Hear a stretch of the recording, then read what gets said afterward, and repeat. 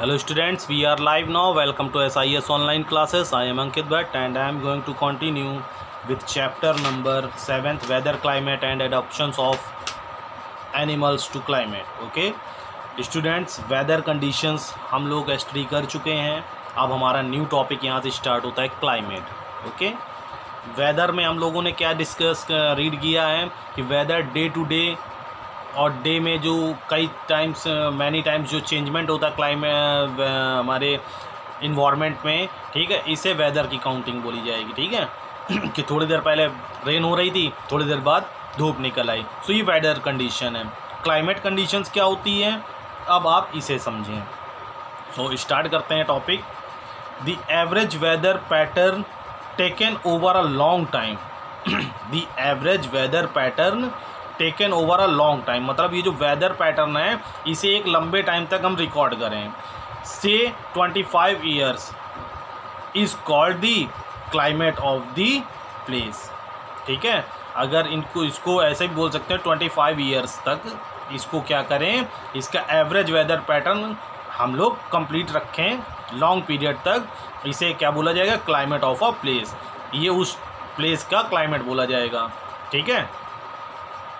The climate of a region depends on the following factors अब suppose that जो polar areas हैं, जो ठंडे प्रदेश हैं तो उनको ऐसे थोड़ी नहीं बोला गया। साल भर का या छः महीने का उनका टेम्परेचर देख के।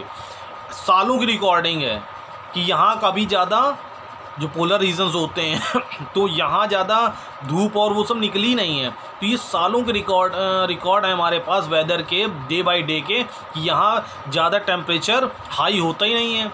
माइनस ही में हमेशा टेम्परेचर रहता है स्नो ही हमेशा रहती है, ठीक है? तो या जो उसको नाम क्या दे दी गया पोलर रीजन ठीक है? एक पता चल गया कि पोलर रीजन अब जैसे ही पोलर रीजन की बात चली चलेगी तो हमें, मेरे हम लोगों के दिमाग में क्या आ जाएगा कि ये ठंडे जगह की बात चल रही है, ठीक है?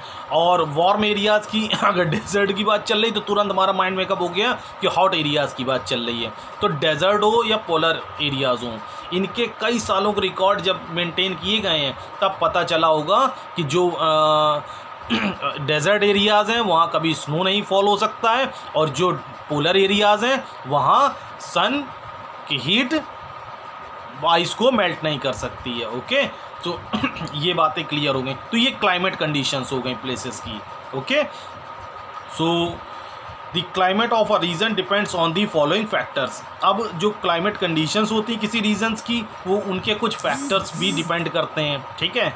डिस्टेंस फ्रॉम द इक्वेटर कि इक्वेटर से वो किस डिस्टेंस पर हैं, ठीक है? The equator receives the direct rays of the sun equator पे जो होता है अर्थ का जो इक्वेटर एरिया है, वहाँ पे सन की डायरेक्ट रे फॉल होती हैं। And so it is the hottest place on the earth इसीलिए ये अर्थ के हॉटेस्ट प्लेस बोले जाते हैं। Places distance from the equator अब जैसे जैसे क्या होता जाएगा इक्वेटर से, हम लोग दूर जाते जाएँगे। मतलब जैसे ये अर्थ है, ठीक है? ये अर्थ का इक्वेटर है। अब जैसे जैसे हम लोग ये ठीक है? ये नॉर्थ रीजन हो गया, नॉर्थ पोल हो गया, ये साउथ पोल हो गया। तो जैसे जैसे इक्वेटर से हम लोग दूर जाते जाएँगे या इधर नीचे डाउनवर्ड जाते जाएँगे तो वैसे वैसे जो होगा सन रेज क्या होगी? कम पहुंचेंगी। और जब कम पहुंचेंगी तो यहाँ ठंडक ज़्यादा होगी कोल्ड रीजन्स होंगे।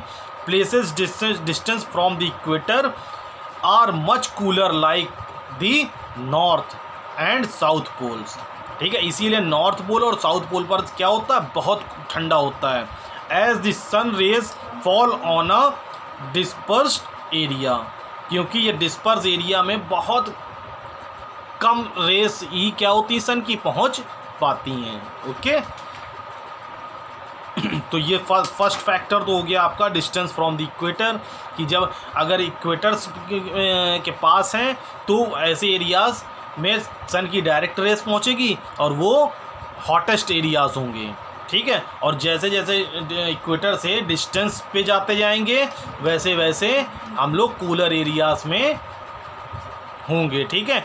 इसीलिए नॉर्थ पोल और साउथ पोल पे सबसे ज़्यादा कि पोल्स में क्या क्या होता है? सबसे ज़्यादा ठंडक होती कूलर प्लेसेस होते हैं। ठीक है? क्योंकि इक्वेटर से ये सबसे ज़्यादा दूर होते हैं और सन रेज जो होती है, ये डिस्पर्स्ड एरिया में बहुत कम पहुँच पाती है, ठीक है?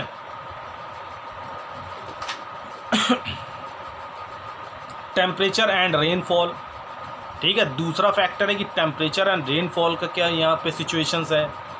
तो the temperature in Rajasthan is high during most part of the year ठीक है? अब जैसे राजस्थान की बात करें तो राजस्थान में जो पूरे ईयर का जो मोस्ट पार्ट है ठीक है, ज़्यादा पार्ट है ईयर का, वो कैसा रहेगा? हाई टेम्परेचर पे रहेगा। ठीक है? But during winter the temperature is very low और जब विंटर सीज़न आएगा तो टेम्परेचर क्या हो जाएगा? लो हो जाएगा।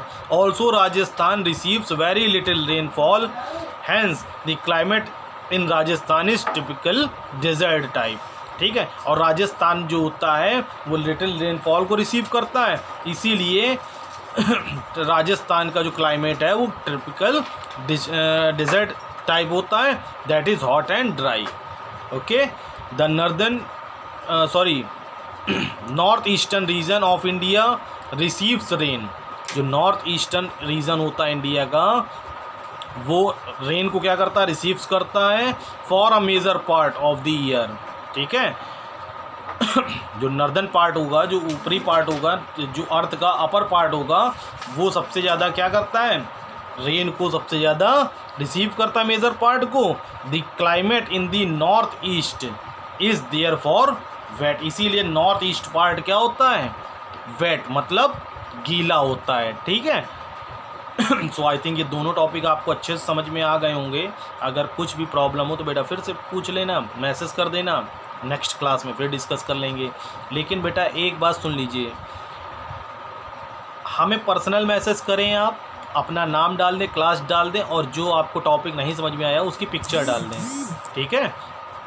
सो so, हम तुरंत नहीं आपको कर पाएँगे लेकिन जो अगली क्लास का वीडियो बनाते हैं ना उस क्लास में आपको चाहे भले नया टॉपिक ना स्टार्ट कर पाएँ जो आपको प्रीवियस जो प्रॉब्लम्स हैं उसको ज़रूर डिस्कस कर लिया करेंगे okay? So bye take care.